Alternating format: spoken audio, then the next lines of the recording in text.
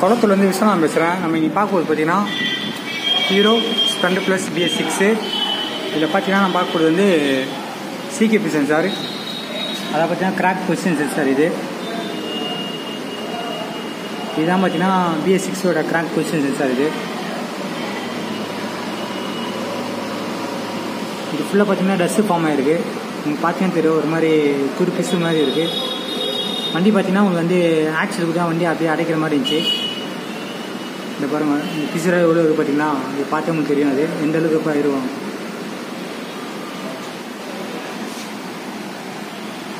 இந்த நோ வைஜாக்